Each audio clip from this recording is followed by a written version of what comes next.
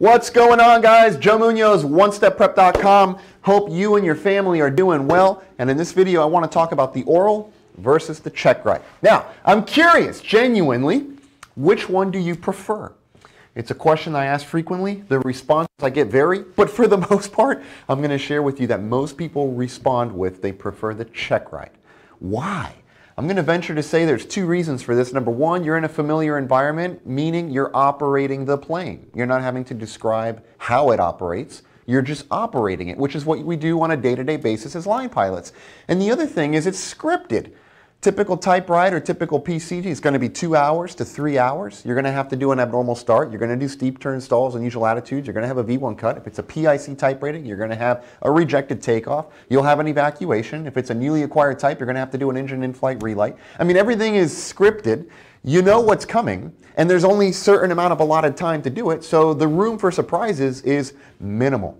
Not the case with the oral. On the oral, as you well know, three parts to any oral, memory items, limitations, lights and switches. Let's talk about the lights and switches portion. Typically on the lights and switches portion, we are not operating the plane here. We're describing how the airplane operates, which is perhaps not what we do, certainly if you're not an instructor, you're a line pilot, on a day-to-day basis. You don't go out and talk about fire switches and how they operate, or you don't talk about spoilers and which ones deploy and which, one, which hydraulic system uses it. You operate the plane. In other words, if you're giving a, a descent clearance and you need to comply with the descent clearance and you need to expedite the descent, you deploy the speed brake and get down. You don't necessarily think, oh, which, which spoilers am I going to get from which hydraulic system, right? You're in a different environment. So for the oral, we are describing how the airplane operates. On a check ride, we are demonstrating our proficiency to operate the plane. Now, this, this, this difference between these two scenarios, one is not superior to the other. They're just different, they're unique in their own context, and should both be respected. And from an instructor and a line pilot perspective, it should also be respected. Why? Because when you're in the schoolhouse quite a bit like myself or any other instructor, you spend a lot of time in an environment of describing how the airplane operates contrary to the person who's out there flying the line and actually operating the plane. And for this reason, you'll frequently find a line pilot that comes in, can operate the aircraft extraordinarily proficient, very proficient at the practical application, the line flying, but maybe cannot articulate or describe how things operate as well as the instructor who's always in the schoolhouse describing and articulating how the thing operates.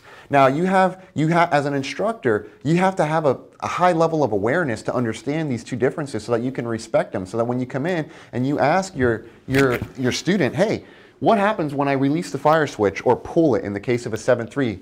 It's the same thing, folks, regardless of airplane. For the most part, the answer is the same. Well, we're going to arm the squibs. We're going to close the hydraulic shutoff valve. We're going to close the fuel pressure valve, the low pressure valve, and we're also going to close the IDG fuel return valve. We're going to deactivate the generator specifically by opening the generator line contactor on a 320 or the generator breaker in a 7.3. We're going to deactivate the FADEC power supply. We're going to close the bleed air valve. That's the answer from a standpoint of how the airplane operates, describing how it operates.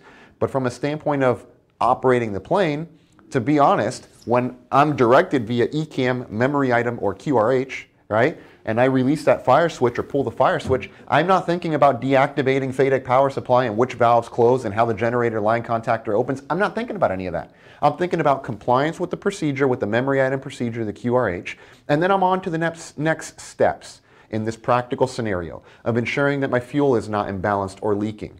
And if it is, that I address that. And that placing that TCAS mode selector to TA so that we prevent climb commands, which can exceed single engine performance capability, which in that moment is more relevant and more priority than me trying to figure out whether the FADEC is active or not active because we deactivated it by the pushing of the fire switch, right? So the worst instructors, folks, I have found are, are those that they, they cannot uh, understand or have the level of awareness that there is describing operation of the plane and operating the plane, and that both are unique. They should both be respected. But for someone to come in and not articulate it perfectly to the instructor standard who has the advantage of always being in that wheelhouse, in that environment, and to think that everyone's going to describe it in that way with that level of proficiency per se, uh, it's a bit unrealistic on the instructor standpoint to believe that. And that being said, let's now flip it vice versa. The best instructors are the ones that are aware of this. They recognize this. Okay, a lot of times folks, and, and I have the benefit fortunately of being able to not only teach it, but go out and actually fly the 320, go out into the sims, right, and, and instruct in the sims.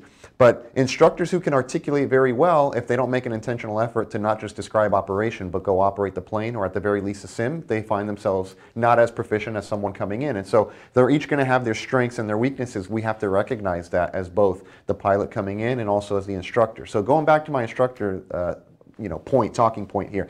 The, the highly aware instructor that recognizes this are often the most effective, right? Because each person is empathetic of where they're coming from. They understand where they're coming from. And then not only that, they can take how the system operates and relate it to practical application to what's most relevant for the pilot out there operating the plane. This connection is huge for the effective data transfer, right? So if I tell a pilot, hey, can you tell me what happens when we pull the fire switch or we release the fire switch? And they tell, you know, maybe they don't say, well, the generator line contactor opens and they just say, oh, the trips the, uh, the generator off.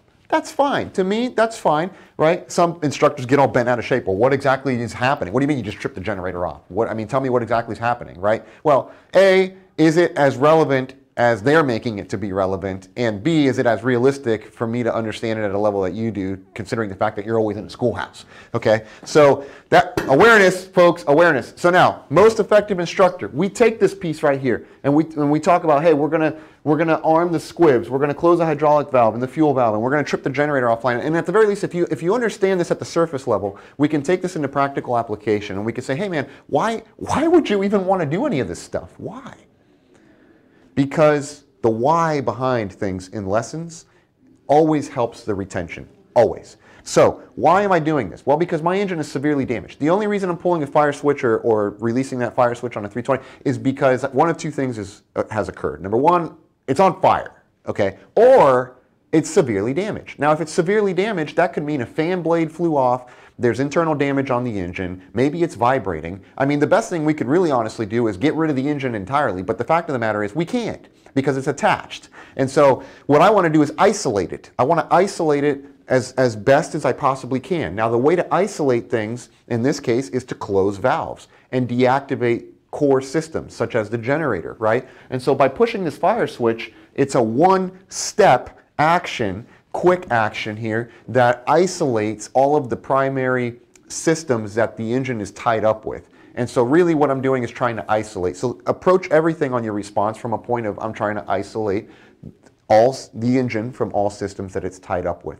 When you can take how it operates and tie it into practical application so that it is received well by the pilot, so that also, by the way, the level of awareness is recognized that each person has their area of expertise, neither superior, but both unique in their own context and shall be respected, man, you make for such a conducive learning environment.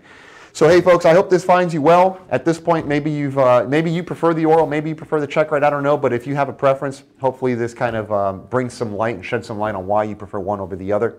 Of course, as always, got my books up here and other things to announce. Number one, any program that you enroll in for this month of April 2022 uh, you're going to get this ebook free. It's 235 pages, 80 lessons, 35 exercises. Apart from teaching folks in the cockpit and flight school things, I also go to high schools and uh, even colleges and universities and talk about finance, mindset, and communication strategies. I wrote a, big, a, a book about this. I have a mentorship about it. Anyway, munozmission.com is where you can find that slash book. But if you grab any program on One Step Prep this month, April 2022, I'm going to send you the ebook version for this. Type rating playbook to success, whether you're going to get typed on a 320, 3 77774, a Gulfstream, a Beechjet, doesn't matter what jet you're getting typed on. This is a playbook to basically give you the blueprint on how to go through type rating training, what to expect, uh, maybe some, some roadblocks that you may encounter, some instructor tips. I talk all about it here. 60 pages. If you want it, there's a hardcover. There's a, uh, it's actually a soft cover, but a hard version of the book, I should say. An ebook version, a video program, an audio program. It's all available onestepprep.com forward slash playbook. And finally, got a lot to share with you, brothers and sisters. That's why I'm talking quick, man. So, finally, AX3 certification, those of you that are instructors, you want to be an instructor. You want to understand how to take how an airplane operates and transmit the data effectively into the operation of the plane. Basically, you want to become a communicator. I always say communicators take the complex concept and simplify it into something easily digestible. A teacher or an instructor takes something that could be simple and makes it hard, or something that's hard and just transmit it and it's still hard. They haven't simplified anything. But a connective communicator puts the student, the audience, in a position to number one, receive. Okay? First, I got to be receiving. Puts them in a position to receive and then simplifies the complex into bite sized pieces that keeps them receiving because they're so engaged with you. I want to describe exactly how we do that. I coined this program AX3. It's the letter A times three attention, awareness, and accountability. We're going to unpack all three of these over a two day period. You can grab that program at AX3 certification dot.com, more specifically, ax3certification.com forward slash enroll. Hope this video finds you well. Hope you're doing well. Look forward to another video here soon on YouTube. And of course, as always, like, subscribe, share, drop your comments below. We always read them and get back to them as soon as we possibly can. We'll see you in another video.